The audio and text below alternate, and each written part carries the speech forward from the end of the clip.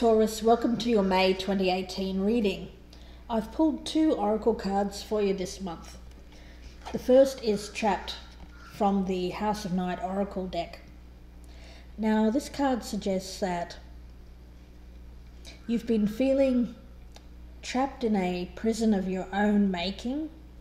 I relate this card to, if you're familiar with the tarot deck, I equate it to the Eight of Swords in that you're currently keeping yourself stuck in a kind of mental confusion about something that's happened in the past and you're not you're not allowing yourself the freedom to move on from this situation. Now from the Angels deck, I've pulled relationship. And this card signifies that there are positive opportunities coming in in a current relationship. So there's changes being made right now, I feel, with these cards. I, am sensing a period of transition from this feeling of trapped to a more positive outcome in a current relationship, which is fantastic news, Taurus. Now, let's see what's going on for you this month. We have the Three of Swords as your overall theme. So it's to do with a heartbreak. Let's see what else I can pull out on that Three of Swords for you, Taurus. You've got the Five of Pentacles in reverse. So this suggests to me that you are emerging from a difficult time and you are now doing what's necessary to repair the damage from this past heartbreak. Now, in the past, you have the Three of Cups in reverse. So it appears that there's been some kind of overindulgence. Let's see what else I can pull out on the Three of Cups in reverse for you, Taurus.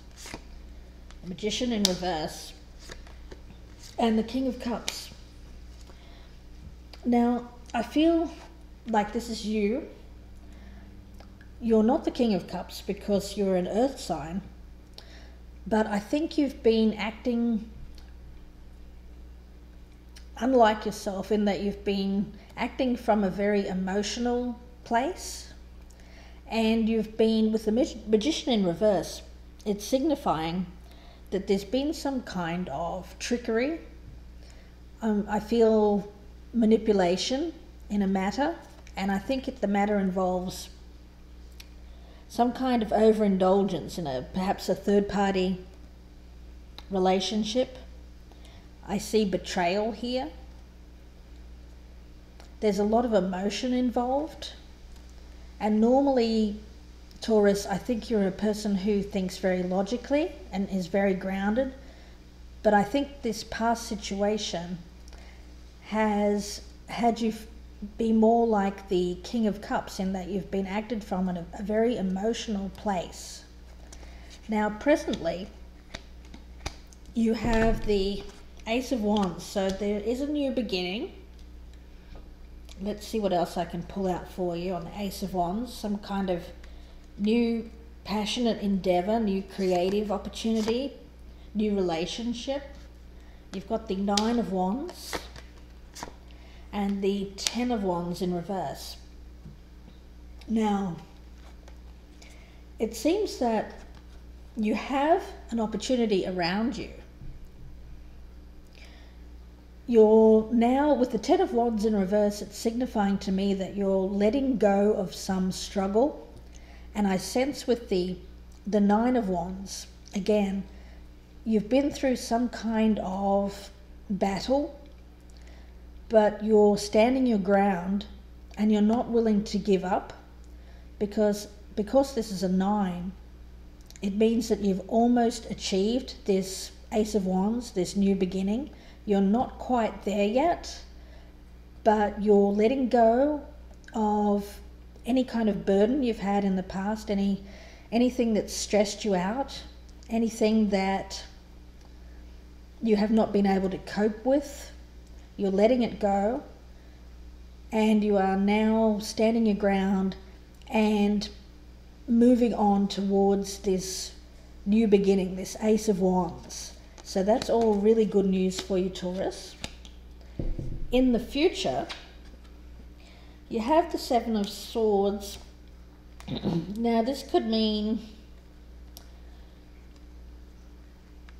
some kind of stealth, uh, cunning behavior.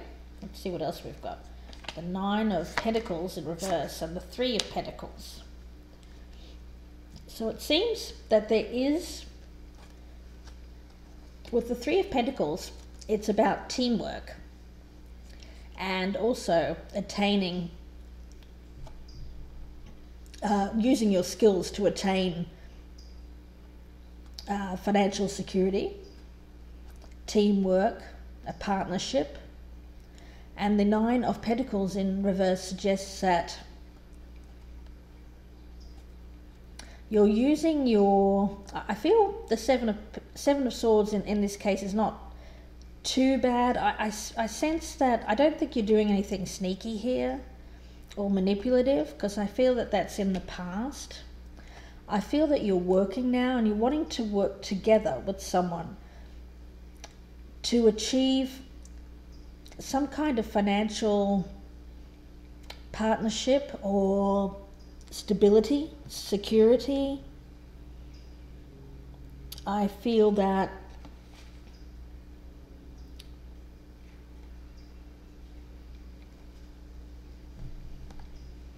I feel like you're you're having to be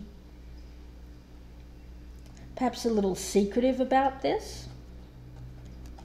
Is how I feel with that seven of swords.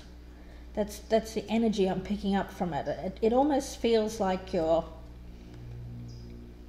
you're not letting others know that you're doing this. Is how I feel. But you are working together with someone to achieve some kind of stability here. And you may be doing things to, to achieve this that not everyone is aware of. So it's not too bad for your Taurus there. In the advice, and your best path to follow, you have the Nine of Swords in reverse. So this is telling you to let go of anxiety, stop the worrying. Let's see what else I can pull out on for your advice. What else does Taurus need to do for May? The Eight of Pentacles in reverse and the Two of Wands. Okay, so this is letting me know that your best path to follow is to let go of whatever you cannot change, whatever has stressed you out, what let go of anything that has left you with sleepless nights, worry, not being able to move on. Let go of that. And the Eight of Pentacles suggests to me that you need to work on it's it's simply telling me that you you need to make an effort to do this to get yourself out of this anxiety I feel and with the two of wands it's asking you to look ahead start making plans for the future so I feel with these three cards it's about letting go of what's not serving you anymore, making an effort, and making plans for the future. Letting go of, of whatever hasn't worked for you in the past and has left you with this anxiety. Now, in your environment, Taurus, you have the Seven of Pentacles. Now, this is a card which suggests that you're you're making you're taking small steps and you're seeing you're seeing some gain. Now let's see what else I can pull out on this seven of pentacles for Taurus. Two of pentacles and the eight of swords. I feel this is how someone else is viewing you, Taurus. Someone important to you, someone whom you're thinking about or means a lot to you right now is seeing you trying to maintain a balance. They see you taking the steps, they see you making some gains, and I feel that the what you're trying to do is is get out of this. Again, I have the Eight of Swords, which comes up here as trapped. This trapped feeling. I, I feel like you've this heartbreak in the center has left you feeling very stuck, isolated, unable to move on. But the thing to remember with the Eight of Swords is, is it's a prison of your own making. It's an illusion.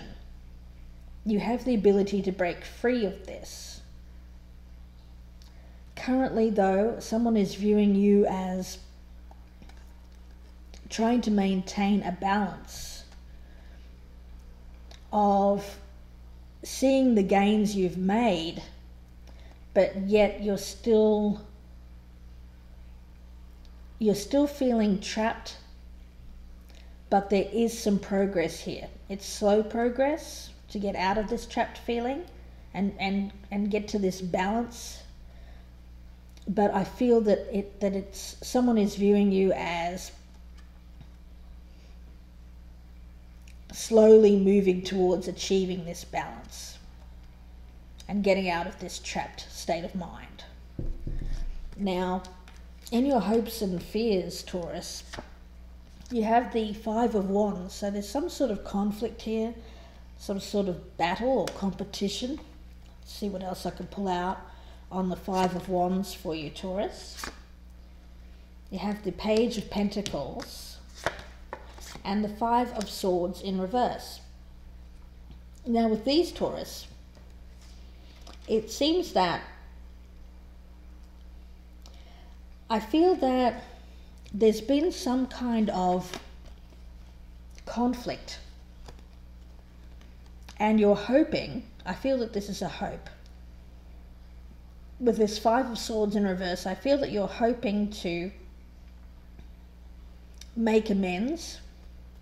You are hoping to repair the damage that I think this conflict has caused with someone. And it involves some kind of new start, new new new practical start. I feel that that's what you want.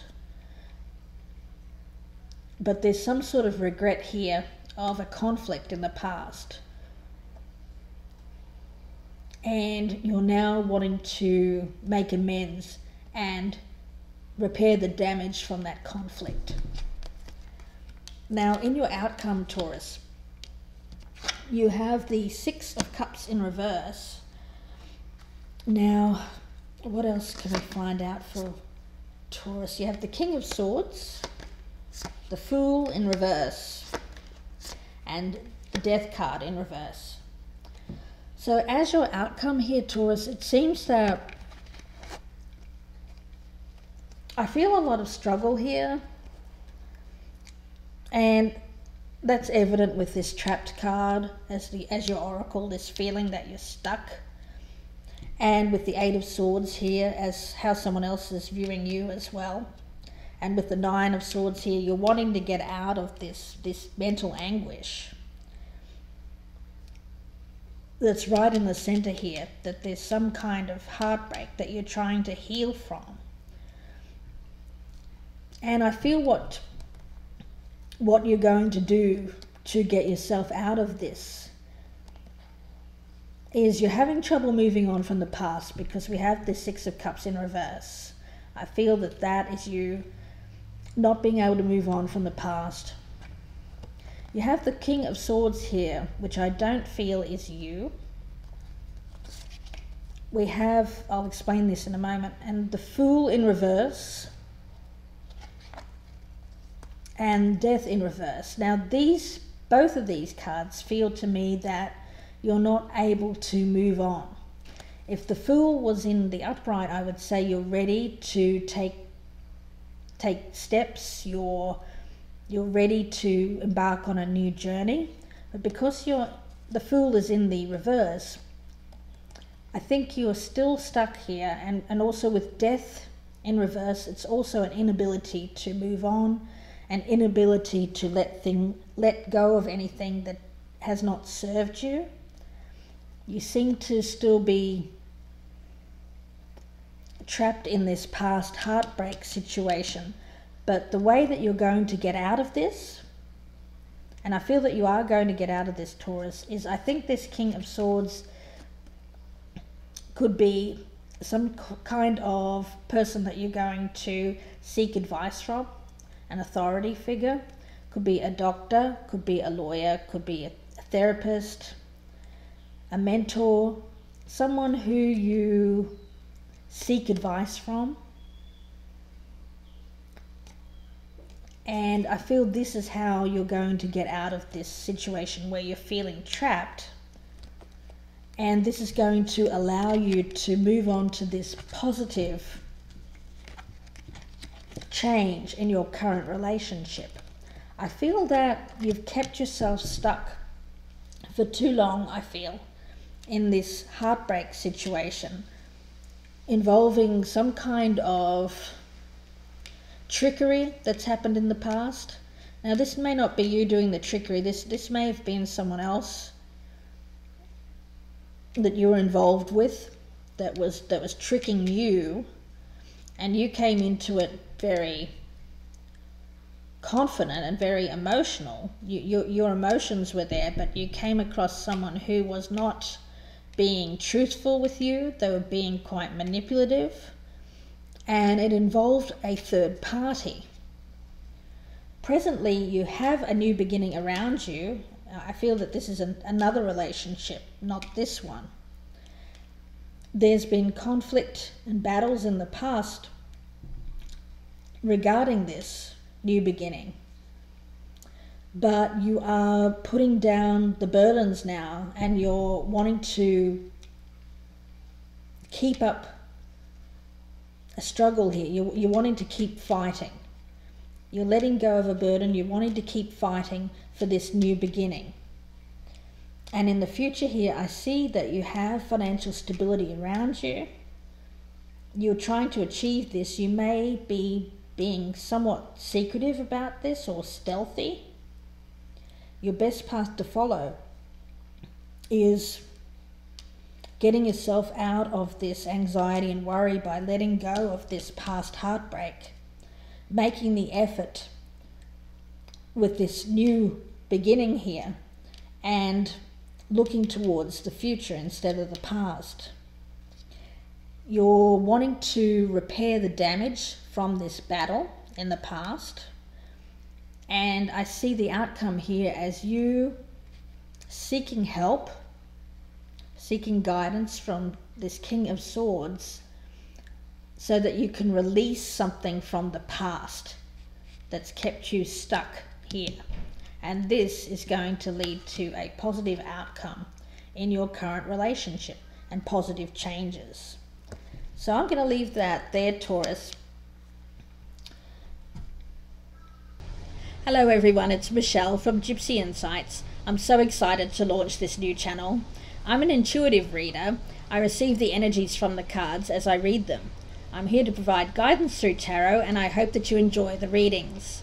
My general readings can be quite specific and won't resonate with everyone. Please check your sun, moon and rising signs to see which one resonates the most with you.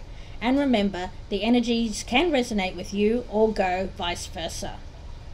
These general readings are provided free of charge, so if you are enjoying my readings, please feel free to donate using PayPal and my email address gypsyinsights at gmail.com. I look forward to reading for you personally. Please email me at gypsyinsights at gmail.com if you would like a personal reading. I'm offering low introductory rates. If you would like an answer to one question, I offer a 15 minute video I also offer a 30 minute video if you have two to three questions and an in-depth video of 45 to 60 minutes. These videos are delivered to you via YouTube for you personally. Please like, share and subscribe. I'll be adding additional content on a regular basis. Thanks again for watching. I really appreciate your support and I will see you again very soon.